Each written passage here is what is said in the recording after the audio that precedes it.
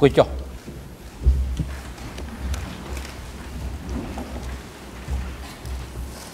បាទអង្គមេប្រកាសបន្តកិច្ចដំណើរការនីតិវិធីសម្ដែងការហើយជាបន្តទៅនេះផ្ដល់វិធីការជូនទៅក្រមវិទ្យាការពីក្តីលោកខឿសំផនដើម្បីមានឱកាសតាំងសម្ដែងដេញដោលចំពោះសាក់សីរូបនេះ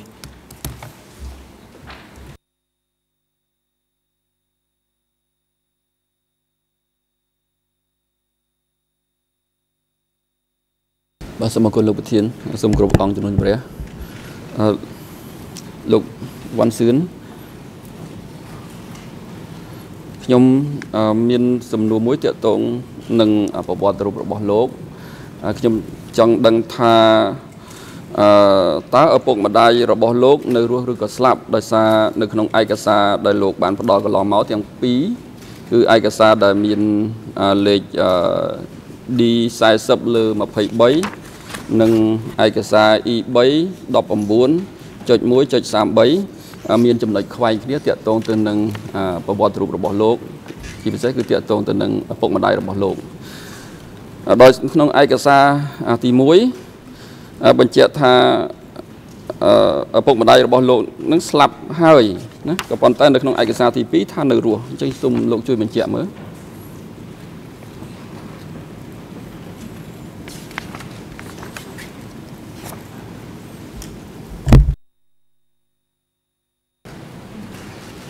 បាទឪពុកម្ដាយខ្ញុំ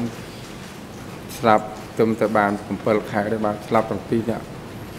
មួយកន្លះខែស្លាប់មួយមួយកន្លះខែស្លាប់មួយបាទមួយខែស្លាប់ពីរនាក់តែម្ដងបាទ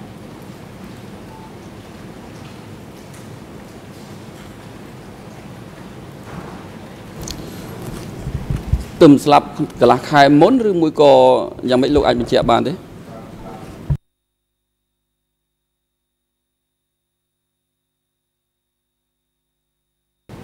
បាទស្លាប់បាន7ខែហើយបាទ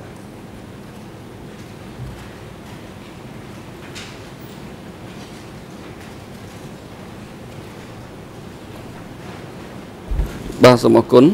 អឺបាទប៉ុន្តែឯក្នុងឯកសារនេះធ្វើនៅឆ្នាំ2007ដែលថាឪពុករបស់លោកស្លាប់ណាក៏ប៉ុន្តែដែលឯកសារដែលធ្វើក្រោយអឺក្នុង ឯកសារដែលធ្វើក្រោយនៅក្នុងសំណុំរឿងផ្សេងនេះបែរជាថានៅរស់វិញតើអាចចំណុចនេះវាជាកំហុសយ៉ាងម៉េចដែរលោកអាចបញ្ជាក់បានទេ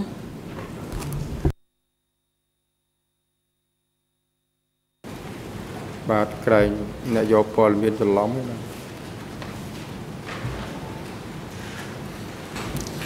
បាទសូមអរគុណ លោកអាចបញ្ជាក់បានទេ អំពី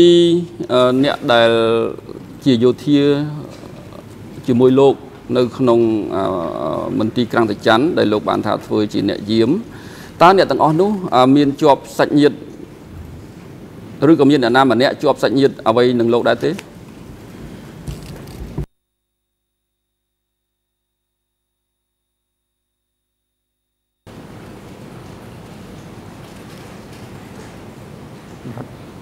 បាទជាប់ម្នាក់ដែរបាទ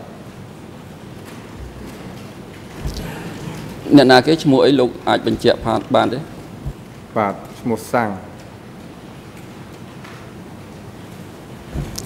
ត្រូវជាយ៉ាងម៉េច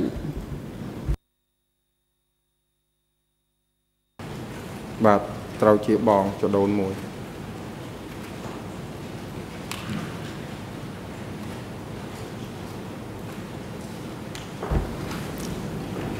លោកដឹងថាគាត់ឈ្មោះសាំងនឹងមានជាប់ពាក់ព័ន្ធអ្វីជាមួយនឹងតឡាការនេះដែរទេ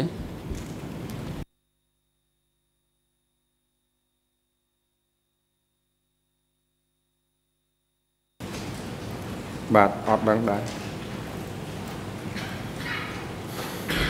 លោកអាចបញ្ជាក់ឈ្មោះពេញរបស់គាត់បានទេ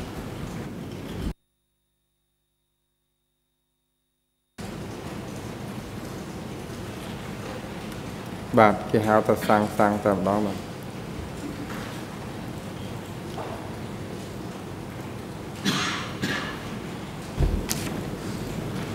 ឈ្មោះសាំងហ្នឹងសូត្រសាំងហ្នឹងមែនទេបាទ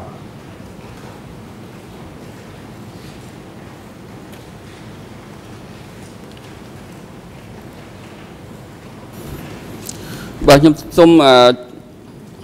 អឺអានជូនលោកនៅឯកសារ E3 លើ48 46អឺ EON ជាភាសាខ្មែរ00 52 77 31ជាភាសាបារាំង00 94 32 68ជាភាសាអង់គ្លេស 00 52 77 78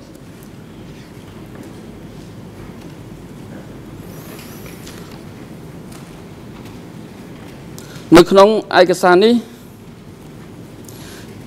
ជាសម្ដីរបស់សយសែនដែលគាត់បានបញ្ជាក់ថា អ្នកដែលនៅយាមហ្នឹងគឺថាជាបងប្អូនជីដូនមួយទាំងអស់សុទ្ធតែបងប្អូនជីដូនមួយហើយគាត់បានបញ្ជាក់ថាលោកនឹងមានមានពីរនាក់ជាជាជាបងប្អូនបង្កើត គឺឈ្មោះសាំងនឹងឯង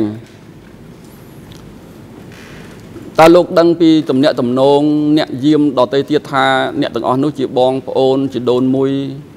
នឹងគ្នាដែរទេអ្នកផ្សេងទៀត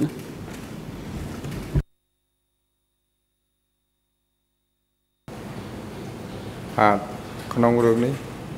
ដល់ឡែកពីគ្នាទាំងអស់បាទដល់ឡែកតែខ្ញុំហើយសាំងហ្នឹងបាទបងប្អូនចដូនមួយបាទ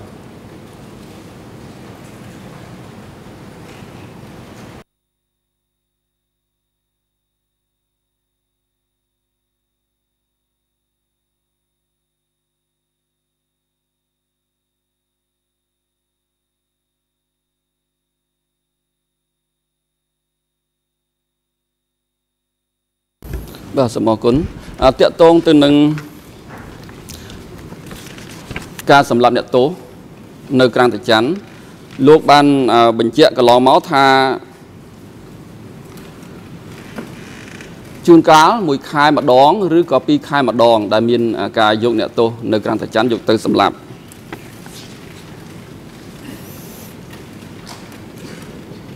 ក៏ប៉ុន្តែ សយសែននៅក្នុងពេលដែលគាត់មកបង្ហាញសក្ខីកម្មនៅទីនេះដែលមានលេខឯកសារ E3 អសំទោស E1 លើ256.1ក្រោយម៉ោង14:00:42 លោកសយសែនគាត់បានឆ្លើយថាខ្ញុំសូមដកស្រង់ជួនកាលមួយខែមានវាយ4ដង5ដងឬ10ដងអីចឹងទៅនិយាយរឿងអត់មិនអត់ទេ នៅមានហោហែអញ្ចឹងអត់ខានទេប៉ុន្តែប្រភេទវាដូចតែគ្នាឥតមានអ្នកណាមួយរៀងដូចថាឲ្យ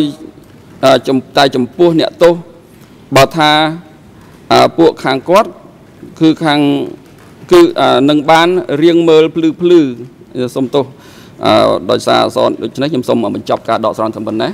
អញ្ចឹងខ្ញុំចង់បញ្ជាក់ចំណុចដែលខ្ញុំលើកអានអំបញ្ញមិញនេះ គឺគាត់លើកថាមួយខែមានវាយ4ដង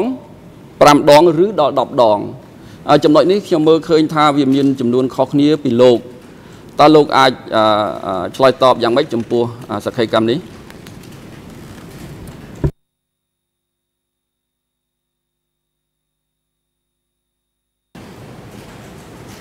បាទចំណុចហ្នឹងកុំកុំតឆ្លើយតបសូមអញ្ជើញសហប្រញ្ញារងអន្តរជាតិ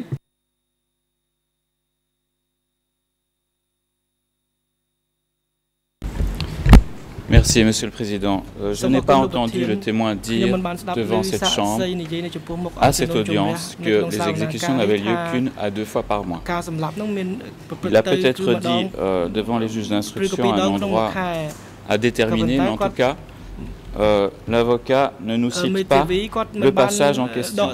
Et cela n'a pas été dit. Au contraire, le témoin a plutôt dit que chaque fois que des lettres arrivaient du district, il y avait exécution. Donc je ne pense pas qu'on puisse le confronter à ce que Saïsen a dit sur une base aussi peu précise. Il faudrait peut-être qu'il se réfère au procès verbal précis avec le numéro d'IRM précis pour savoir exactement ce que le témoin a dit auparavant.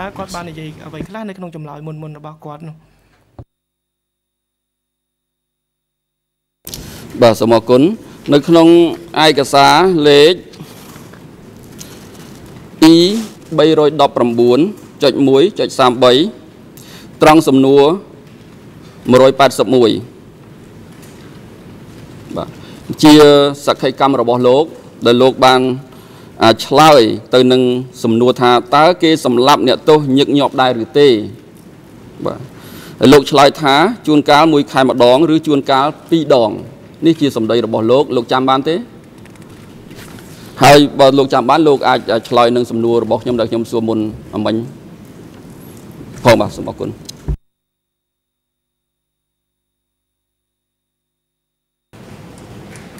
បាទក្នុងចំណុចនេះខ្ញុំដឹងថាមួយខែម្ដងឬពីរដងតែប៉ុណ្ណោះត្រង់ដែលមួយខែរាប់អាទិត្យរាប់ដងនោះខ្ញុំមិនបានដឹងទេបាទ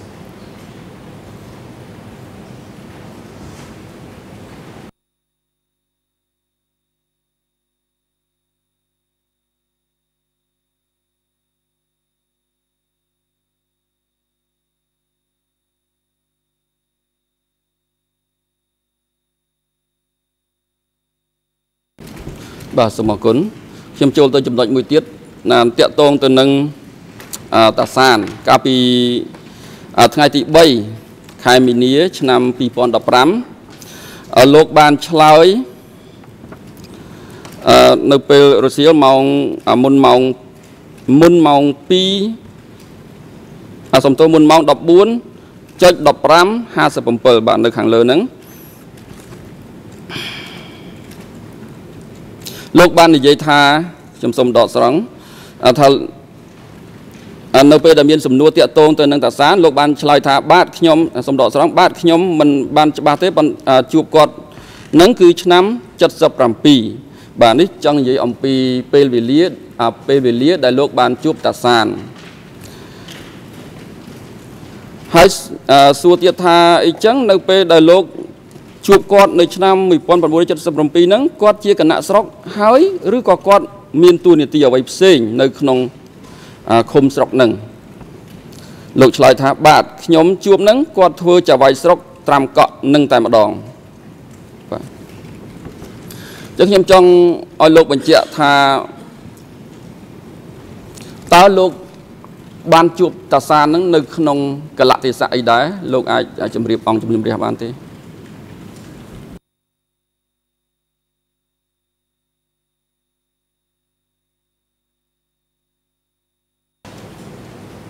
បាទខ្ញុំជួបតាសានហ្នឹងខ្ញុំមកលេងឪពុកម្ដាយខ្ញុំនៅភូមិជ្រែឃុំលិបោហើយខ្ញុំទៅសាលាឃុំលិបោហើយជួបតាសាននៅកន្លែងខៅសហកកងមួយនៅលិបោបាទ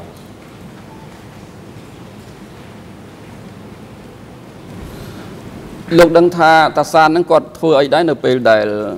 គាត់លោកជួបគាត់នៅលាយបោហ្នឹង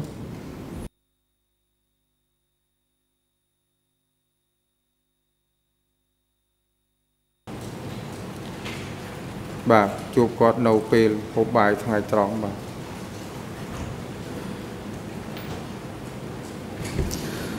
បាទខ្ញុំចង់សួរបញ្ជាក់លោកថាតើលោកដឹងថាតាសានជាចវាយស្រុកហ្នឹងដោយរបៀបណា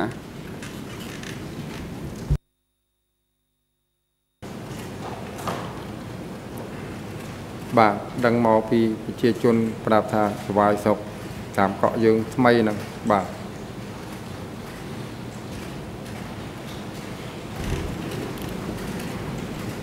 ប្រជាជនលោកស្គាល់ឈ្មោះគេទេ ឬក៏គេមានអឺ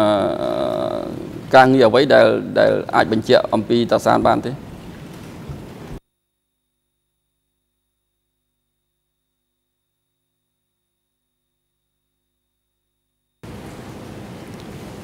បាទมันអាចបញ្ជាក់បានទេពីព្រោះ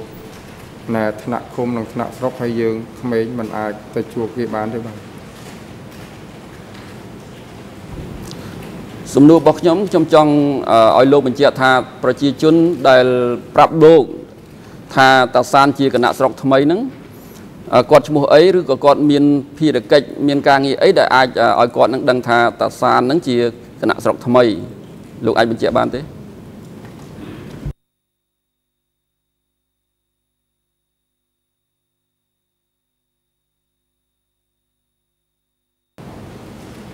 បាទប្រជាជននោះมันអាចបញ្ជាក់បានទេព្រោះគាត់ប្រជាជនដូចគ្នាខ្សឹបពីមាត់មួយមាត់ពីរនៅក្នុងសហគមន៍បាទគាត់ដឹងប៉ុណ្ណឹងទេបាទបាទសូមអរគុណជាលោកមានដឹងជាលក្ខណៈផ្លូវការណាមួយដែលថាតាសានឹងជាចៅវាយស្រុកត្រាំកក់នឹងដែរទេ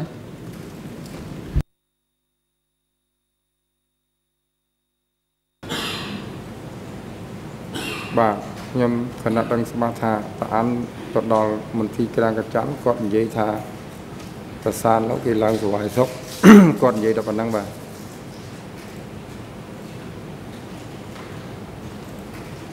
សូមលោកបញ្ជាក់ម្ដងទៀតអ្នកណានៅក្រាំងតាច័ន្ទនិយាយថាតាសានឡើងចវាយស្រុក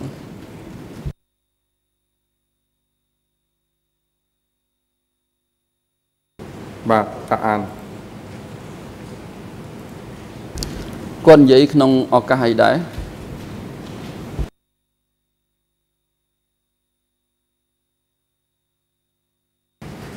បាទគាត់និយាយណាគាត់ដើរចូលទៅដល់ក្នុងពេលបាយហូបបាយហ្នឹងគាត់ប្រាប់ថាតាអានតាសានឡូវឡើងស្វាយស្រុកថ្មីគាត់គាត់ថាប៉ុណ្ណឹងបាទ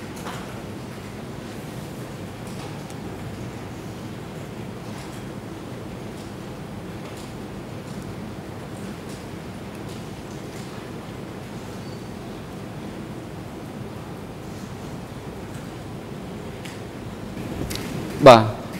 ខ្ញុំចង់សួរបញ្ជាក់លោកតាកតងការងារនៅក្រាំងតាច័ន្ទពីការប្រជុំវិញម្ដង លោកធ្លាប់ចូលរួមប្រជុំជាមួយតាអានឬក៏អ្នកផ្សេងទៀតនៅក្នុងក្រាំងតាច័ន្ទនឹងដែរទេ ការប្រជុំជាផ្លូវការ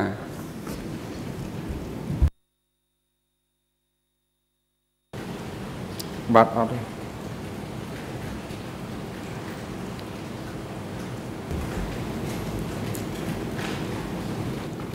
លោកអាចលោកនិយាយថាអត់ហ្នឹងគឺអត់ក្នុងរយៈពេលតាំងពីលោកទៅធ្វើការនៅក្រាំងតាច័ន្ទហ្នឹងរហូតដល់ចុងបញ្ចប់ហ្នឹងគឺមិនដែលមានការប្រជុំជាផ្លូវការណាមួយជាមួយគ្នាតលតែសោះឬមួយក៏មានការប្រជុំតែលោកមិនចាំ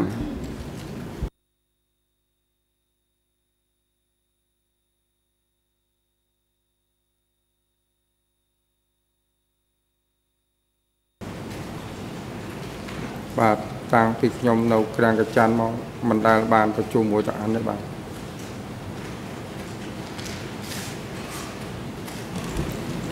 ចុះកម្មាភិបាលផ្សេងទៀតដែលលោកបាននិយាយអំពីអឺ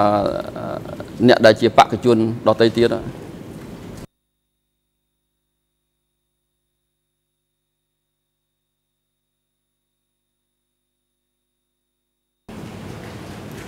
បាទមានតែពេញ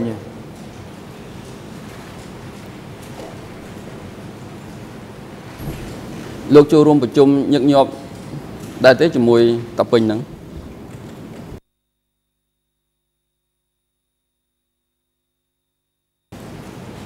បាទក្នុងមួយខែម្ដង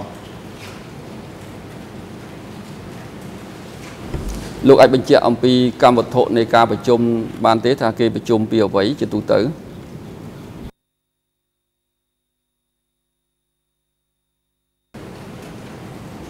បាទប្រ ជុំនោះគេនិយាយអំពីហេតុផលការយាមកាមនិងការធ្វើស្រែការដាំបន្លែរែកដីដំបូកនិងរែកដីបាតពាំងទៅប៉ុណ្ណោះទេបាទ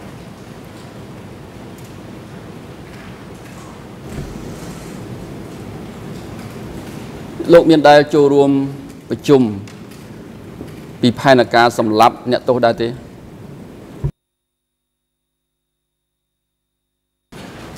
បាទអត់ទេ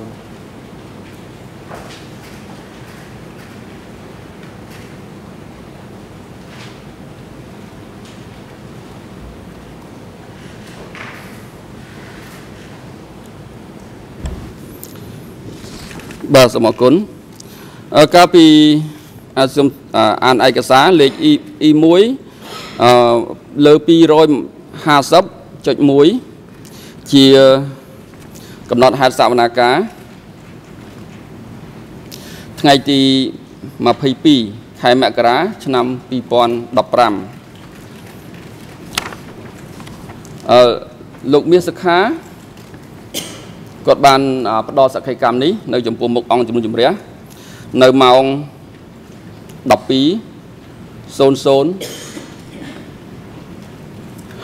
53 នៅពេលនោះគឺមេទវីអង្គតាគីសេគាត់ជាអ្នកសួរ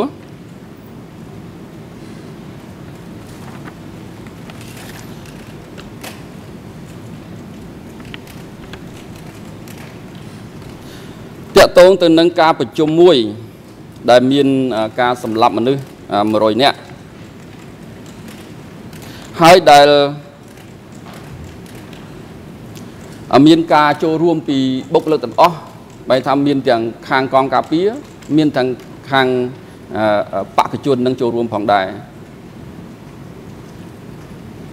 តើលោកចាំទេថាមានការប្រជុំបែបនេះនៅក្នុងពេលនោះគឺនៅឆ្នាំ1977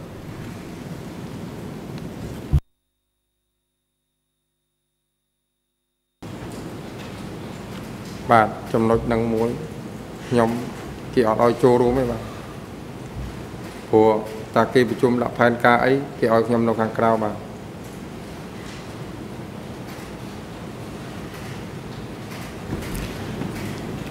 លោកអាចបញ្ជាក់បានទេពីការដែលលោកមិនបានចូលរួមហើយគេឲ្យលោកនៅខាងក្រៅហ្នឹងដោយសារតែអ្វីដែរហើយចុះអ្នកយាមដតីទៀតបានចូលរួមទេ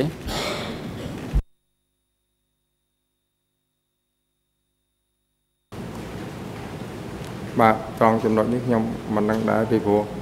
ផែនការខ្ញុំច្រើននៅខាងក្រៅហើយនឹងរត់សម្បត្តិតែម្ដងបាទ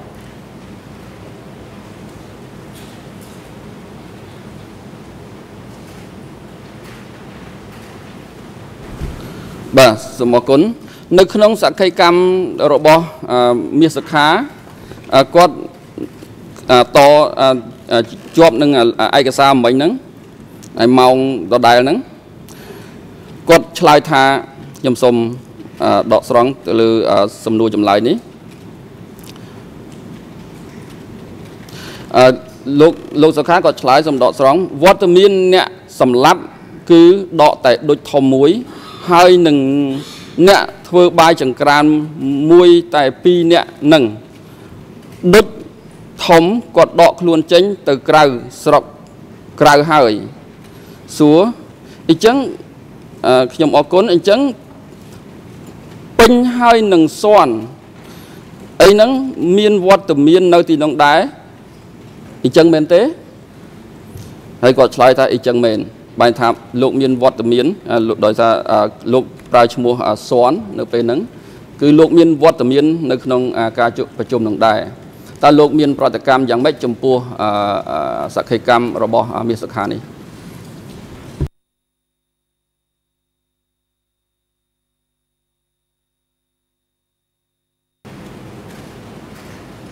បាទចំណុចនេះសូមបញ្ជាក់ថាបើរឿងនេះបើនិយាយមានសុខានឹងនិយាយពិតមែនរហូតឲ្យទៅសួរដល់ម្ដាយវាតែម្ដងបាទបួខ្ញុំនៅខាងក្រៅជាមួយម្ដាយណែមានសុខានឹងរហូតបាទមិនដែលពាក់ព័ន្ធនៅក្នុងចំណុចរឿងនេះទេបាទ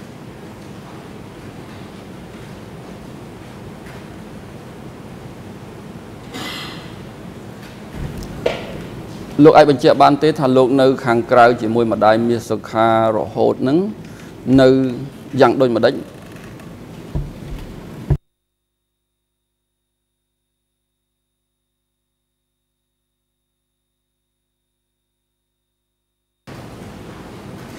ពីព្រោះខ្ញុំបានថាមកជែកជាមួយម្ដាយមានសុខាហ្នឹងពីព្រោះខ្ញុំចិញ្ចឹមបាយគាត់រហូតហើយក៏ខ្ញុំមិនដែល ណែពាក់ព័ន្ធជាមួយនឹងជាមួយពេញនឹងកកងការពារផ្សេងទៀតដែរព្រោះចែកដាច់ពីគ្នាបាទ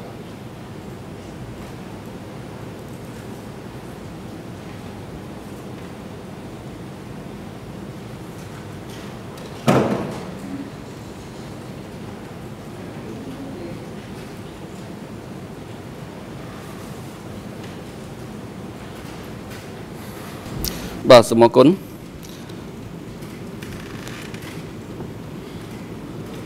លោកមានអីចង់បញ្ជាក់អំពីការឆ្លើយតបទៅនឹងមាសសុខានឹងថែមទៀតទេតាក់ទងទៅនឹងវត្តមានរបស់លោក ក្នុងការប្រជុំតាមការឆ្លើយរបស់មាសសុខា មានអីចង់បន្ថែមទៀតទេ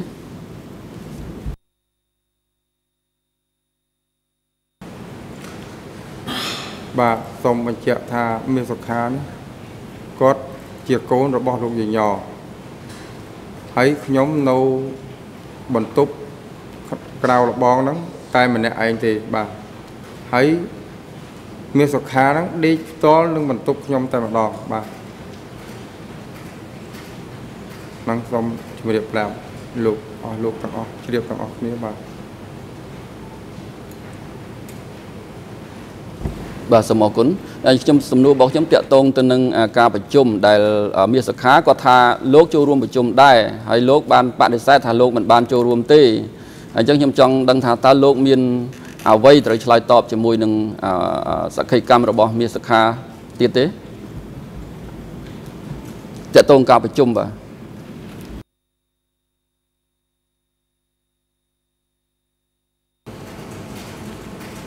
បាទតាក់ទងនឹងការប្រជុំវាពិតមែនហើយម្ដងមកការបាទជាមួយពេញហ្នឹងប៉ុន្តែរឿងសម្លាប់មនុស្សខ្ញុំអត់ទេបាទ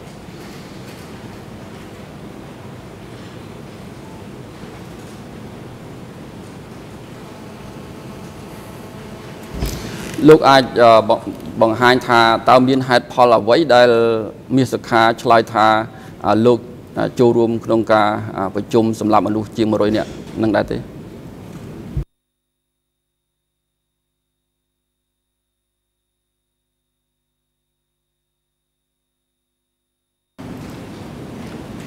បាទបញ្ហានេះខ្ញុំក៏មិនអាចដឹងដែរដល់ មាសសុខានិយាយចឹងគាត់ជាអ្នកទោសហើយគាត់និយាយថាសម្រាប់ដល់100នាក់គាត់ឃើញពីណាដឹងពីណាក៏ខ្ញុំអត់ដឹងដែរបាទ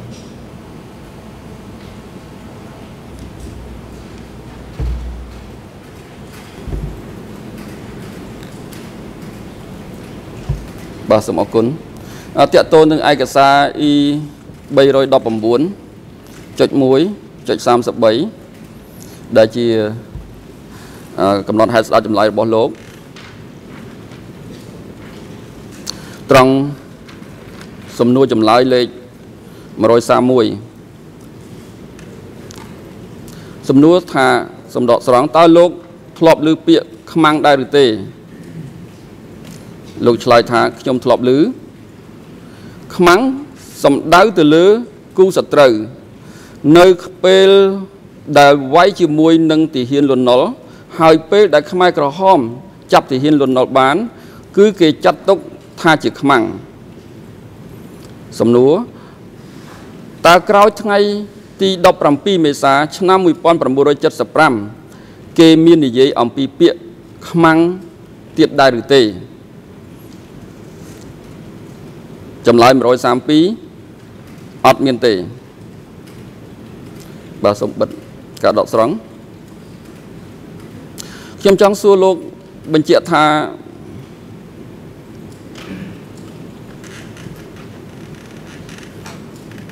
តើមានហេតុផលអីឬក៏មានមូលដ្ឋានអីដែលលោកអាចបញ្ជាក់ថាក្រោយឆ្នាំ1975លោកលេង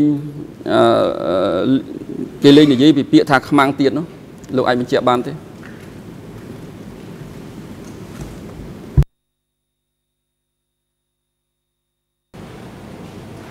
បាទចំណុចទាំងមួយគឺថាគោលនយោបាយគឺថាយើង ខ្មែរទាំងអស់គ្នា បង្រួបបង្រួមគ្នាដើម្បីកសាងជាតិបាទគេនិយាយតែប៉ុណ្ណឹងបាទ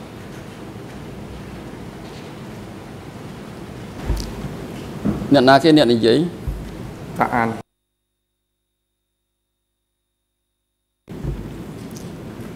លោកមាន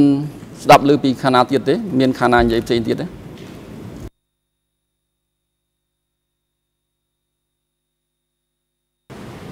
បាទអត់តើអាននិយាយនឹងក្នុងឱកាសអីដែរ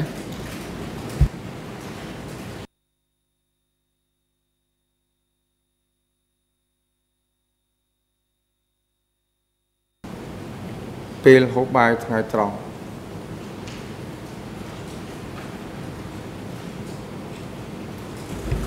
ជាការប្រជុំនិយាយប្រាប់បុគ្គលិក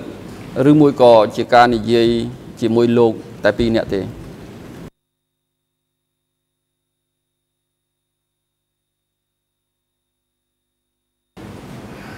អាននិយាយមួយទៅពេញប៉ុន្តែខ្ញុំហូបបាយនៅចុងតុកម្ខាងខ្ញុំស្ដាប់ឮបាទ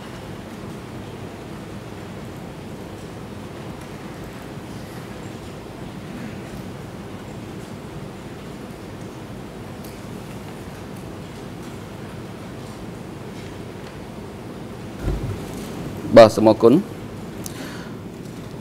ឯកសារដដែល ត្រង់សំណួរចម្លើយ136សំណួរថាសំដកស្រង់តើលោកបានលឺអ្វីខ្លះអំពីពួកកន្សែងសហើយតើលោកលឺនៅពេលណាចម្លើយ136ពួកកន្សែងសគឺចង់សំដៅទៅលើខ្មែរក្រហមអាសំទោសសំដៅទៅលើខ្មែរក្រោមសំណួរ តើកន្សែងសរួមជាមួយនឹងលន់ណុលវាយជាមួយខ្មែរក្រហមឬក៏រួមជាមួយនឹងខ្មែរក្រហមវាយជាមួយទាហានលន់ណុលចម្លើយ137រួមគ្នាជាមួយនឹងលន់ណុលដើម្បីវាយជាមួយនឹងខ្មែរក្រហមបាទសូមជប់ការដកស្រង់លោកអាចបញ្ជាក់អំពី ក្រមកន្សែងសនេះដែលលោកបញ្ជាក់ថាជាកម្ពុជាក្រោមគេរួមគ្នាជាមួយលន់ណុលដើម្បីដើម្បីវាយជាមួយខ្មែរក្រហម លោកដឹងថាគេរួមគ្នាយ៉ាងម៉េចដែរទេ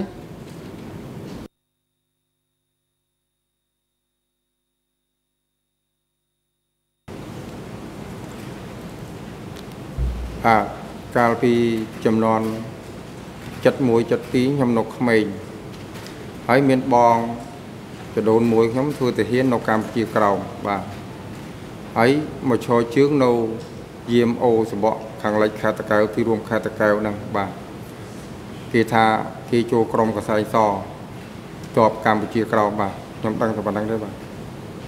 ហើយកាលហ្នឹងវាមានវាយនៅបន្ទាយបន្ទង់ជាមួយខ្មែរក្រហម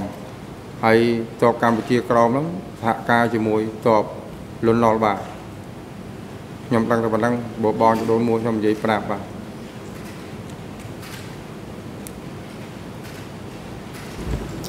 លោកមានបទពិសោធន៍ក្នុងការប្រយុទ្ធតទល់ជាមួយពួកកន្សែងសនឹងទេក្នុងឬក៏លោកបានដឹងពីការប្រយុទ្ធគ្នាណាមួយជាមួយពួកកន្សែងសទេក្នុងពេលហ្នឹងក្នុងពេលលោកនិយាយពីឆ្នាំ73 74មិញហ្នឹង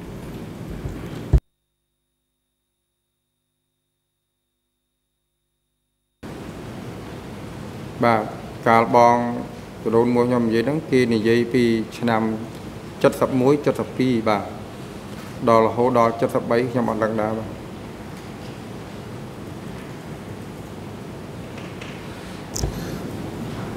លោកដឹងពីអង្គការចាត់តាំងនៃពួកកសែងសហ្នឹងទេដែលលោកឆ្លើយបញ្ជាក់ថាជាខ្មែរក្រោមថាមានថ្នាក់ដឹកនាំជានរណា ហើយគោលដៅនយោបាយគេយ៉ាងម៉េចលោកដឹងទេ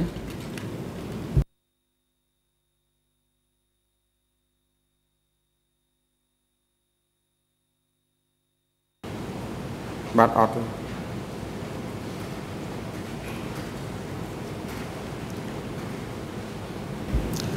លោកដឹងថាក្រុមកន្សែងសហ្នឹងមានរហូតដល់ពេលណាដែរនៅមានដែលជាក្រុមប្រយុទ្ធហ្នឹង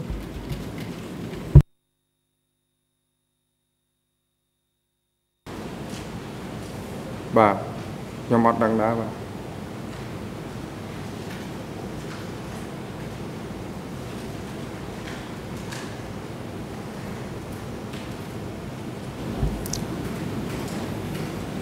លោកមានស្គាល់អ្នកណា ដែលជាសមាជិកនៃក្រុមកន្សែងសនឹងដែរទេរហូតមកដល់ពេលបច្ចុប្បន្នហ្នឹង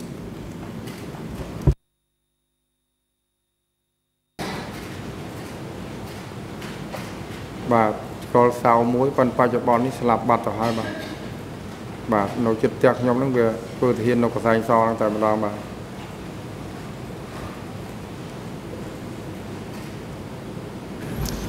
លោកមានបានជួបនិយាយគ្នាជាមួយសោមនឹងអំពីបេសកកម្មរបស់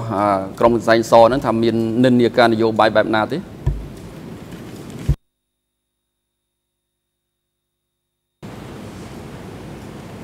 បាទ អត់ដឹងដែរបាទ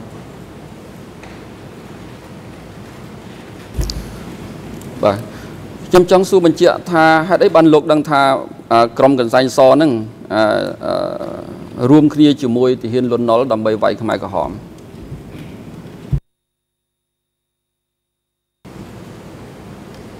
បាទខ្ញុំឮតែគាត់និយាយថាកាលហ្នឹងលន់ណុលហាក់ការ ជាមួយក្រុមកសែងសកាលឡើងវៀតណាមចូលមកទឹកដីកម្ពុជាយើងបាទខ្ញុំដឹងតែប៉ុណ្ណឹងបាទ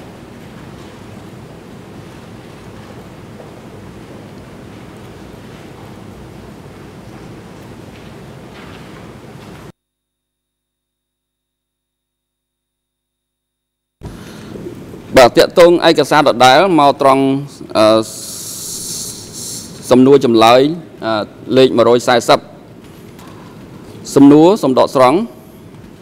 តនៅមន្ទីរសន្តិសុខក្រាំងតច័ន្ទតើមានអ្នកទោសដែលជាអតីតទាហានលន់នល់ដែរឬទេឆ្លើយពេលដែលខ្ញុំនៅធ្វើការសំទោសពេលដែលខ្ញុំទៅធ្វើការនៅមន្ទីរសន្តិសុខក្រាំងតច័ន្ទគឺអត់មានទេសម្បត្តិវិញខ្ញុំចង់សួរលោកថា មិនបានលោកដឹងថាអត់មានទាហានលន់ណុលនៅក្រាំងតាច័ន្ទលោកអាចបញ្ជាក់បានទេពីថាមានអ្វីដែលជាទឹកតាំងបញ្ជាក់ថាអត់មានទាហានលន់ណុលជាប់ទោសនៅក្រាំងតាច័ន្ទនោះ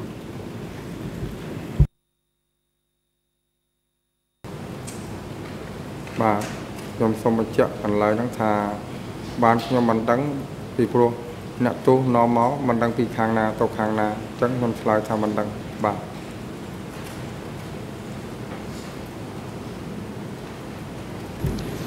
ខ្ញុំចង់ឲ្យលោកបញ្ជាក់សារជាថ្មីត្រង់ចំណុចនេះដោយសារក្នុងចម្លើយរបស់លោកមិនមែនបញ្ជាក់មិនមែនឆ្លើយថាមិនដឹងទេគឺបានន័យថាអត់មានអត់មានទេ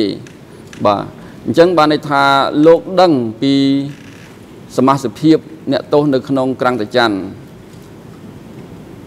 លោកអាចបញ្ជាក់បានទេឬក៏លោកចង់កែប្រែចម្លើយរបស់លោកវិញ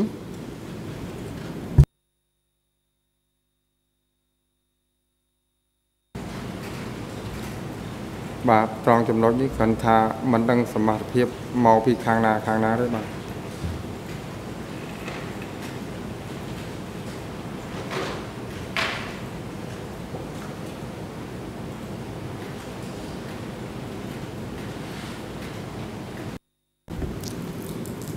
បាទសូមអរគុណអតិតតងទៅនឹង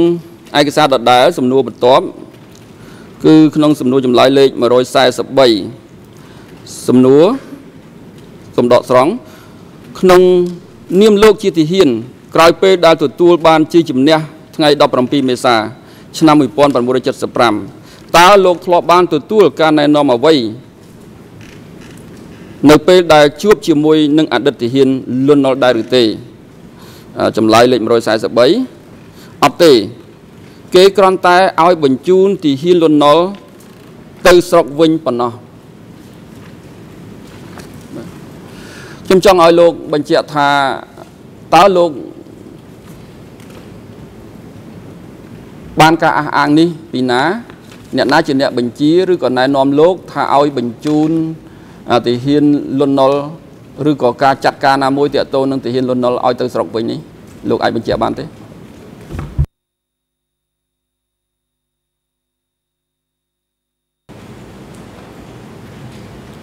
បាទក្នុងហ្នឹងខ្ញុំ មិនបានដឹងដែរបាទគ្រាន់តែគេបញ្ជាក់ថាឲ្យទៅតាមគ្រួសារគេវិញទៅបាទគេគាត់បញ្ជាក់តែប៉ុណ្្នឹងទេបាទ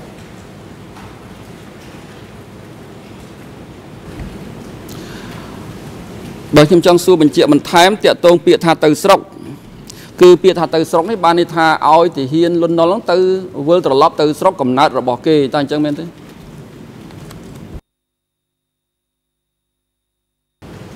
បាទ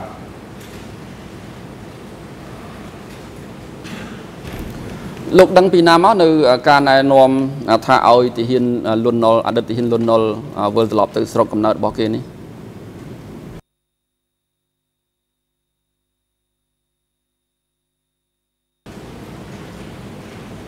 បាទដឹងពីពីការនិយាយតតគ្នាមកបាទ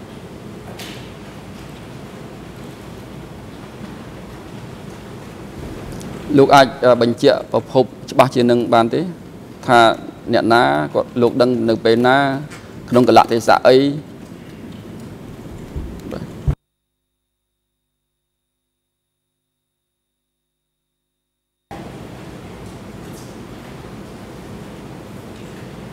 បាទ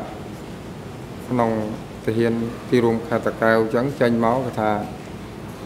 តាមគ្រួសារគាត់តែម្ដងទៅបាទ តែដឹងតែប៉ុណ្្នឹងទេបាទ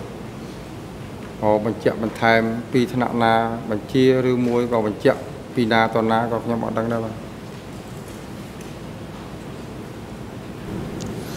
នៅពេលហ្នឹងលោកដឹងហ្នឹងគឺក្នុងសមាជិករបស់លោក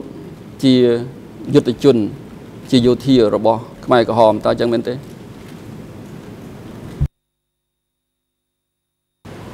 បាទ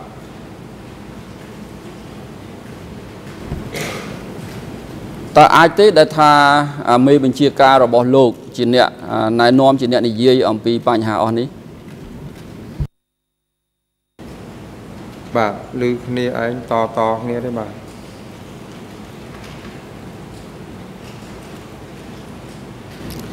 គ្នាឯងហ្នឹងគឺយោធាដូចគ្នាអញ្ចឹងឬមួយក៏យ៉ាងម៉េចលោកអាចបញ្ជាក់ផងទេបាទយោធាដូចគ្នា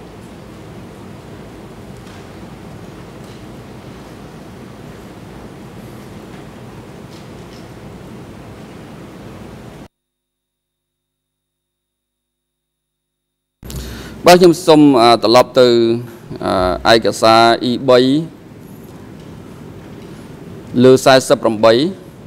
46អំបញ្ញមិញខ្ញុំបានសួរលោកម្ដងរួចហើយតាក់ទងទៅនឹងញាតិភាពរបស់លោកជាមួយនឹងឈ្មោះសាំងប៉ុន្តែខ្ញុំចង់បញ្ជាក់បន្ថែមទៀត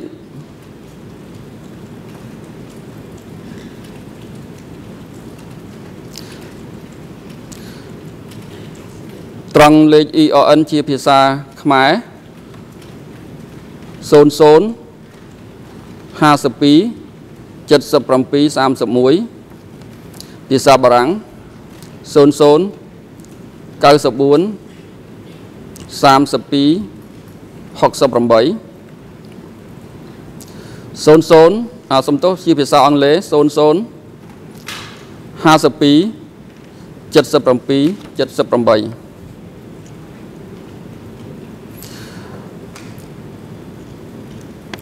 អានេះជាកិច្ចសម្ភារ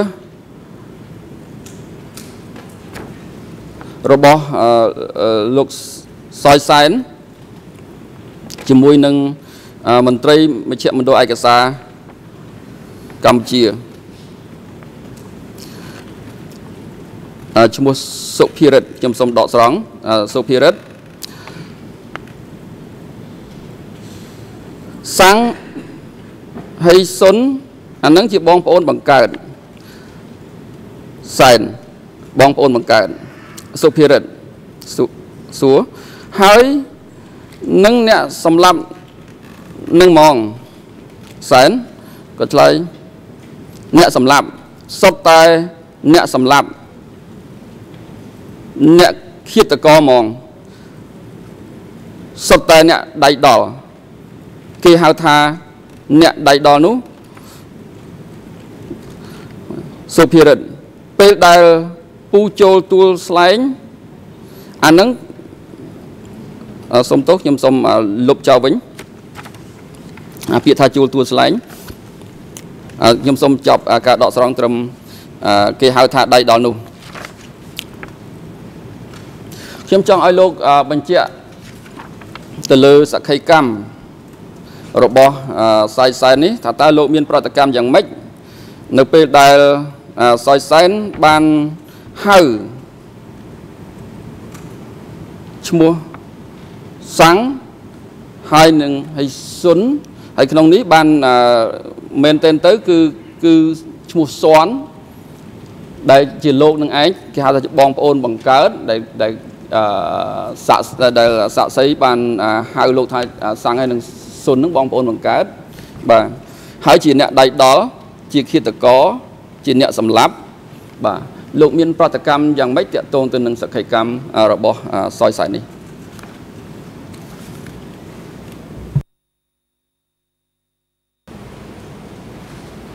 បាទចម្លើយនេះត្រង់ចំពោះរូបខ្ញុំផ្ទាល់អត់តល់ទៅសោះបាទมันបានចូលរួមទេទេបាទសូមបដិសេធបាទ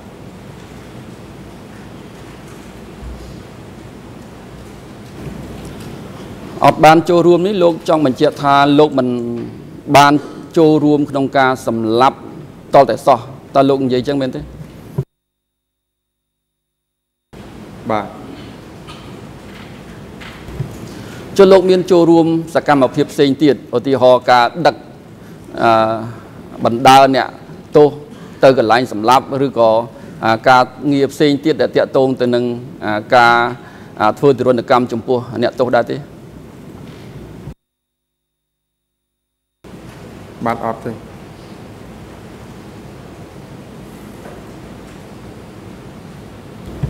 បាទសូមអរគុណលោកប្រធានខ្ញុំអស់សំណួរសូមអរគុណលោកសាស្ត្រីបាទអរគុណហើយមុននឹងចប់នៅព្រឹកនេះយើងកាលពីព្រឹកមិញអង្គជំរះបានទទួលសំណើសុំរបស់មេធាវីនួនជាសូមឲ្យអង្គជំរះធ្វើសមការជាអសាធារណៈស្ដាប់សកម្មកម្មសាក់សីវ៉ាន់សឿនពាក់ព័ន្ធនឹងអង្គហេតុ ថាមានការបៀតបៀនផ្លូវភេទលើស្ត្រីភេទមួយរូបនៅមន្ទីរសន្តិសុខក្រាំងតច័ន្ទដើម្បីការពារសិទ្ធិឯកជនរបស់បុគ្គលដែលពាក់ព័ន្ធនឹងសំណួរដែលមេធាវីការពារក្តីនួនជាមានបំណងសួរចំពោះសាក់សីអង្គជំរះសម្រាប់ធ្វើសកម្មភាពជាអសាធារណៈផ្នែកនៃការសកម្មភាពស្ដាប់សក្ខីកម្មសាក់សីពាក់ព័ន្ធនឹងបញ្ហានេះការអនុវត្តនេះយោងតាមបទបញ្ញត្តិនៃវិធាន 316ក្រមនីតិវិធីប្រមទ័ននៃព្រះរាជាណាចក្រកម្ពុជា ឆ្នាំ2007ហើយប្រកបឲ្យបុគ្គលិកផ្នែកខាងសន្តិសុខអញ្ជើញសាធារណជនចាក់ចេញពីសាលសម្ដែងការ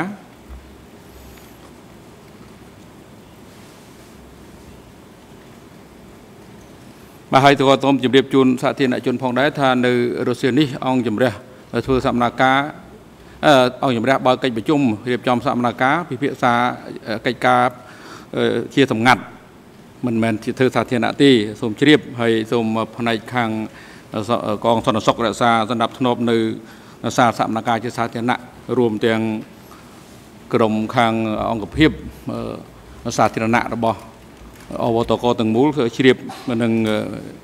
ចាត់វិធានការតាមភារកិច្ចរៀងៗខ្លួន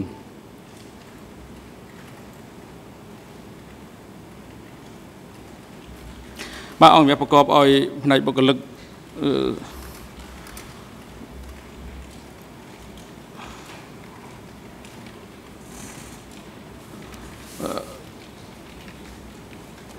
សោតួផ្ដាច់ប្រព័ន្ធតម្លេងនិងរូបភាពចេញទៅ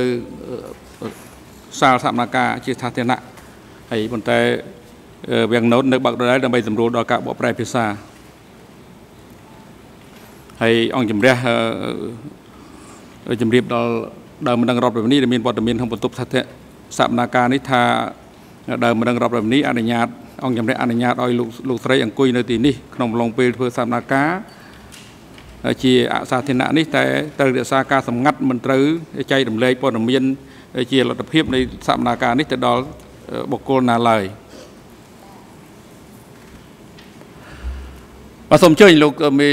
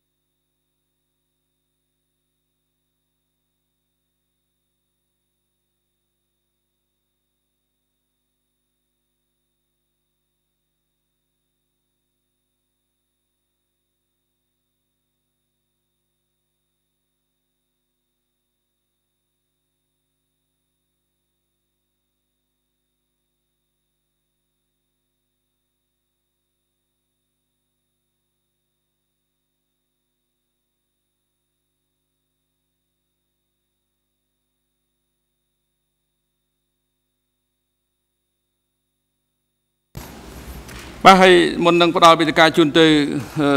មេធាវីនួនជាវិទ្យាកូពេសួរសំណួរពាក់ព័ន្ធនឹងបញ្ហានេះអង្គជំរះសូមក្នុងនាមអង្គជំរះយើងសួរសំណួរមួយទៅសាក់សីសាក់សីវ៉ាន់សឿនលោកសាក់សីផ្ទាល់លោកដែលបានឃើញជួបប្រទះឬក៏បានដឹងអំពីអង្គហេតុដែលពាក់ព័ន្ធជាមួយនឹងការប្រព្រឹត្តរំលោភបំពានលើផ្លូវភេទ ឬក៏បៀតបៀនលើផ្លូវភេទកើតមាន នៅក្នុងមន្ទីរសន្តិសុខក្រាំងតាច័ន្ទនៅក្នុងឡុងពេលដែលលោកទៅបំពេញភារកិច្ចនៅទីនោះដែរឬទេ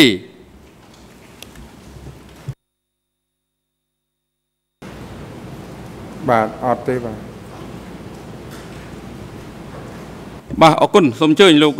បៃតើកូពេ ហើយសូមជម្រាបផងថាលោកបៃតើកូពេត្រូវដកស្រង់នៅប្រតិចរិកឲ្យបានត្រឹមត្រូវ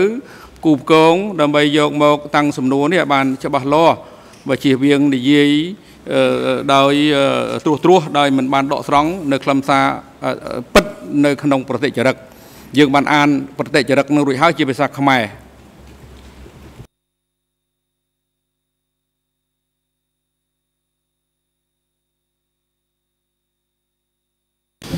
Um,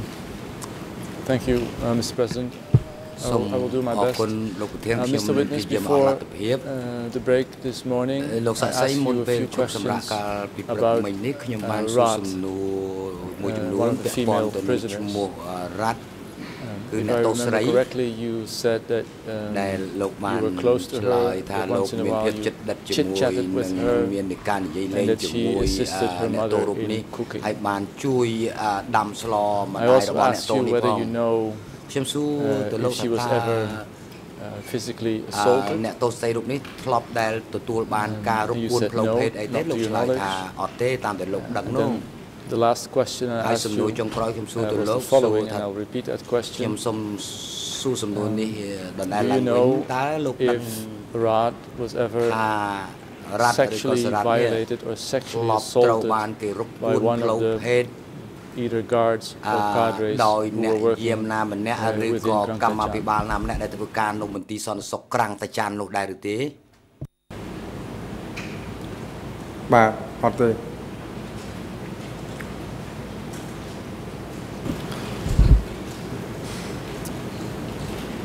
My final question, Mr. Witness. សំណួរចុងក្រោយរបស់ខ្ញុំ Saisen person that we spoke about quite often already this morning gave testimony to DC Cam implying that it was Duik who raped Rad uh, during his time in Grand Tachan. Is this assertion true or false to your knowledge តើការហាងរបស់សយសែននេះវាពិតឬក៏មិនពិតតាមដែលលោកដឹងនេះបាទសូមបញ្ជាក់ក៏បានតន់ឆ្លើយតបសូមអញ្ជើញនៅលោកសាបរិញ្ញារងអន្តរជាតិ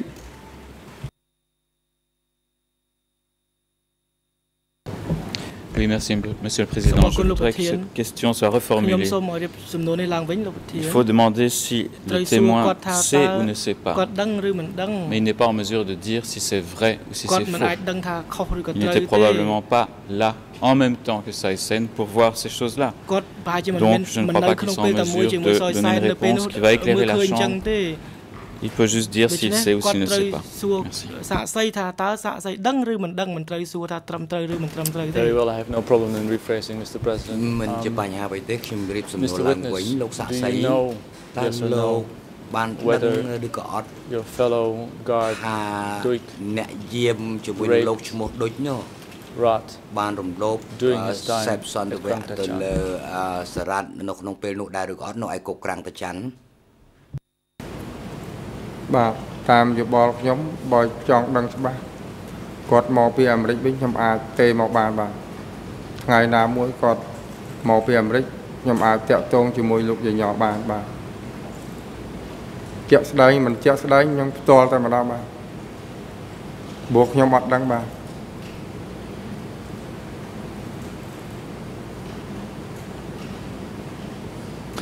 Um, thank you, Mr. Witness. Thank you, Mr. President. អរគុណលោកសាក់សីលោកប្រធានខ្ញុំអស់សំណួរហើយអឺអង្គជំរះសួរទៅក្រមមេធាវីការពីក្តីលោកនួនជា ថានៅរុស្ស៊ីនេះអង្គជំរះនឹងធ្វើកិច្ចប្រជុំរៀបចំសកម្មភាពសួរសំណួរសួរថាតើលោកនួនជាមានបំណងចូលរួមនៅក្នុងកិច្ចប្រជុំ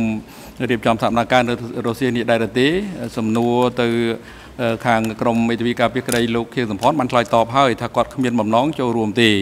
ប៉ុន្តែខាងនួនជាមិនឃើញឆ្លើយតបយ៉ាងម៉េចទៅ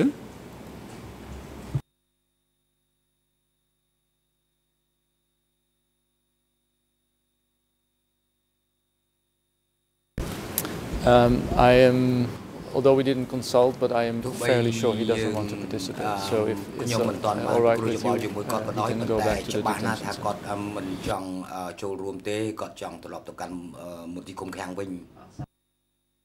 បាទអរគុណសូមអញ្ជើញថាពីញ៉ារងអន្តរជាតិ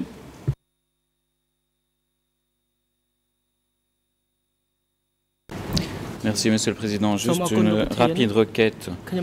concernant le passage euh, où Maître Copé a posé des questions aux témoins ce matin à propos de, l'agression sexuelle éventuelle contre Miss Sarat. Nous demanderions que ce passage euh, soit expurgé de la version publique de, la transcription. Euh, la deuxième chose, je crois que nous demandons également à la Chambre de préciser aux témoins qu'il n'est pas nécessaire d'aller contacter euh, à propos de ce qui s'est passé n'étant pas enquêteur et je ne crois pas que ce soit utile de le charger de cette mission. Merci beaucoup. បាទអរគុណដែរប៉ុន្តែយើងក៏មិនបានបកគលភារកិច្ចឲ្យគាត់ដែរគាត់ស្ម័គ្រចិត្តធ្វើខ្លួនគាត់ទេយើងក៏មិនរងចាំលទ្ធផលដែលគាត់ធ្វើនោះដែរយើងដូចមិនគប្បីសម្រេចអីគ្រប់សពនោះទេសាក់សីទេដែលគាត់ឆ្លើយហួសពីអ្វីដែលសំណួរដែលគេសួរភាពចាំបាច់នៃការសួរដេញដោលចំពោះគាត់ សាក់សីមិនធ្វើអ្វីទៀតទេណាមិនមែនភារកិច្ចអីរបស់លោកទេលោកមានកាតព្វកិច្ចនិងភារកិច្ចឆ្លើយតបនឹងសំណួរដែលសួរតាមអ្វីដែលអង្គជំរះបានកំណត់រួចហើយបាទឥឡូវនេះអង្គជំរះអរគុណចំពោះ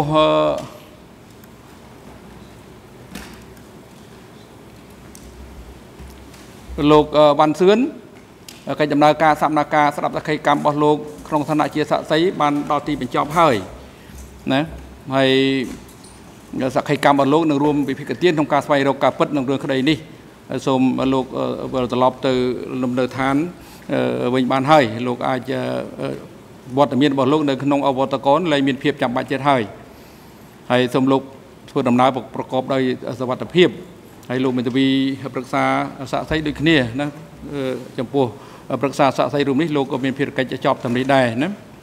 ហើយប្រកបឲ្យអន្តរមន្ត្រីឃុំឃាំងអឺប្រកបឲ្យមន្ត្រីរដ្ឋបាលតុលាការរដ្ឋមន្ត្រីជាមួយនឹងអង្គភាពគម្ពីសាក់សីនិងអ្នកជំនាញក្នុងការជូនសាក់សីរូបនេះវិលត្រឡប់ទៅកាន់ទីលំនៅឋានរបស់គាត់ឬក៏គោលដៅណាដែលគាត់ចង់ទៅវិញបានហើយហើយយ៉ាងម៉េចទៅលោកកូពេ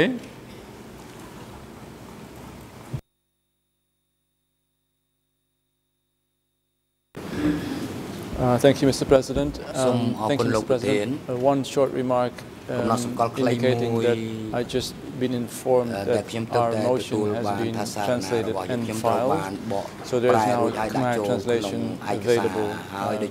of our motion. I think it would be very helpful if both uh, the parties and the chamber uh, will have access to that as soon as possible before we go any further. Uh, so I, I would suggest that we adjourn rather than continue. Uh, uh, my second point is, um, did I understand correctly that the trial management meeting is uh, being held in a closed session? And if yes, would you be able to indicate what the reasons are for having a closed session?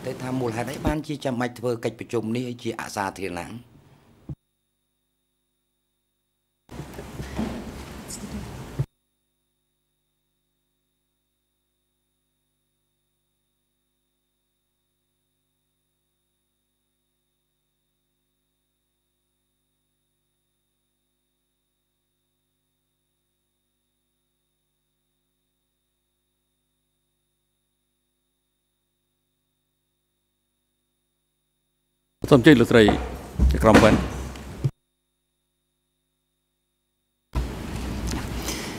Um, the trial management meeting in closed session is the default position in 79. Um, is there any request to open this session? If so, now is the time to do it and to reason it, please. ពេលជាពេលវេលាមួយដែលយើង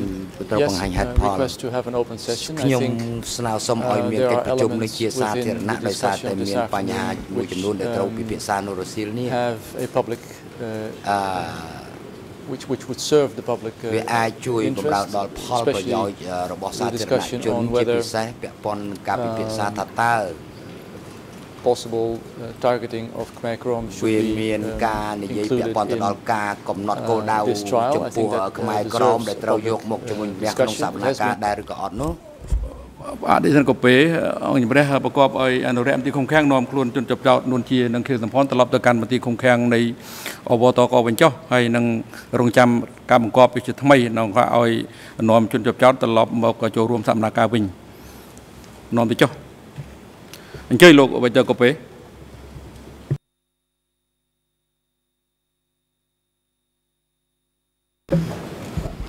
I shall repeat um, what I have to say on this. We do request the public hearing. Uh, I understand that the default setting uh, is uh, in camera. However, ទោះបីជាសម្ដេចថាកិច្ចប្រជុំនេះធ្វើជាអសាធារណៈក៏ដោយដោយសារខ្ញុំគិតឃើញថាកិច្ចប្រជុំរៀបចំ2ឆ្នាំកន្លងមកនេះគឺថាយើងធ្វើជាសាធារណៈ topics which I think are very relevant ប្រធានប្រធានបទដែលពាក់ព័ន្ធ the public to be able to follow ផលប្រយោជន៍សាធារណជនដើម្បីឲ្យគាត់អាចតាមដាននិង I just mentioned the topic of Khmer Krom whether they should be included yes or no or what the legal status is as you, as you know at least the international judges តែយ៉ាងហោចណាស់ ចៅក្រមអន្តរជាតិ remarks on this issue in our um, in our motion. ពាក់ព័ន្ធទៅនឹងបញ្ហានេះដែលយើងលើកនៅក្នុងសំណើសុំរបស់យើងខ្ញុំដូច្នេះការធ្វើជាសាធារណៈនេះគឺមានផលប្រយោជន៍ច្រើន to have access to this discussion ធ្វើឲ្យសាធារណជន but in general I think what is happening now documents of case 3 and 4 being inserted on a massive scale is សំណុំរឿង0304ដែលពាក់ព័ន្ធទៅនឹងការសម្លាប់ទ្រង់ទ្រាយធំ to be held in camera there are no reasons I think specifically we won't talk about actual uh, witness statements យើងមិននិយាយអំពីចម្លើយសាក្សីរបស់ជាក់លាក់ណាមួយនោះទេដូច្នេះមិនចាំបាច់ធ្វើកិច្ចប្រជុំនេះជាអសាធារណៈទេវាមានគោលការណ៍ច្រើនណាស់ដែលអាចយកមកអនុវត្តបាន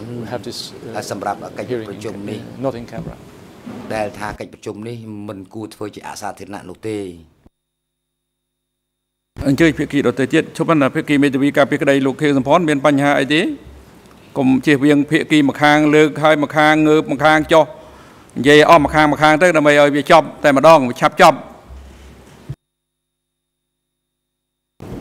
បាទចំហរបស់យើងខ្លីទេគឺថាដោយសារទម្លាប់កន្លងមកយើងធ្វើជាសាធារណៈរួចទៅហើយអញ្ចឹងបើសិនជាមិនមានអ្វីដែលត្រូវរក្សានៅការសម្ងាត់ទេសូមឲ្យអង្គជំនុំជម្រះអនុវត្ត ការសកម្មភាពជាសាធារណៈដូចមុនដែរបាទសូមអរគុណអរសូមទោសការប្រជុំសូមអញ្ជើញលោកសាបញ្ញាអន្តរជាតិ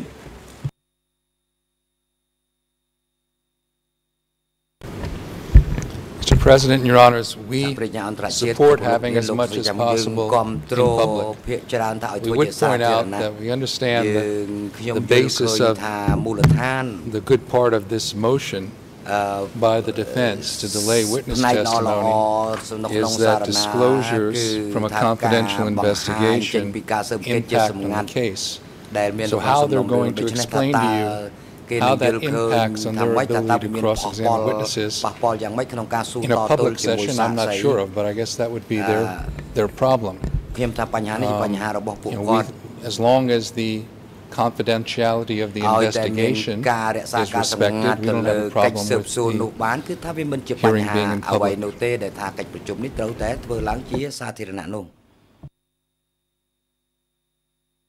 សូមជើញមេធាវីអន្តរជាតិ សហមិត្តវិនមុខតំណាងដើមដឹងរដ្ឋបវិនី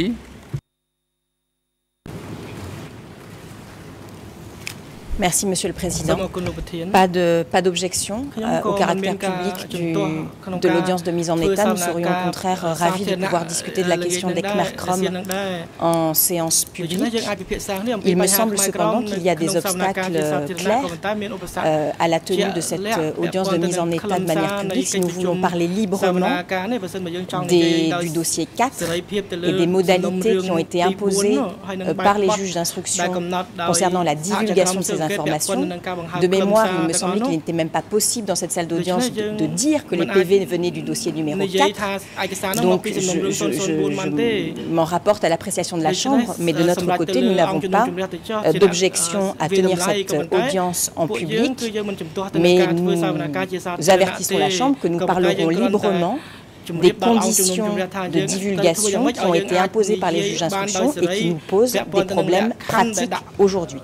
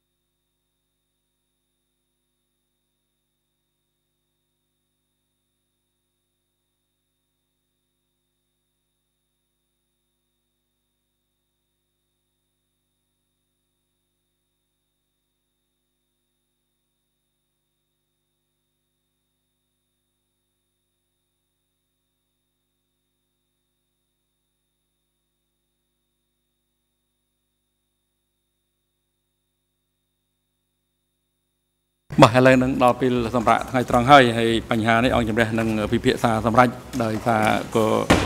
មានសំណើសុំមានលក្ខណៈសមស្របដែរហើយការពិចារណារបស់អង្គជំរះកន្លងមកក៏មានបញ្ហាសមស្របដែរលើបញ្ហាហេតុផលដែលនាំឲ្យសម្រាប់ធ្វើសម្រាប់ដូចបើកកិច្ចប្រជុំរៀបចំសកម្មភាពជាសម្ងាត់ដោយពាក់ព័ន្ធជាមួយនឹងសំរួលសំណុំរឿង